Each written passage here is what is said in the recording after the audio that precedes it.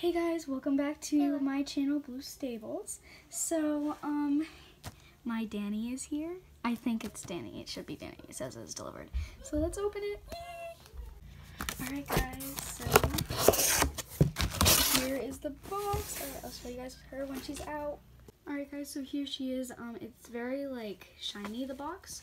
So, yeah, but she is so pretty. Here's that side.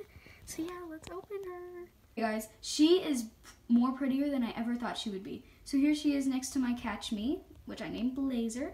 But oh my god guys, she is so pretty. And I have an Infinity Briars halter on her.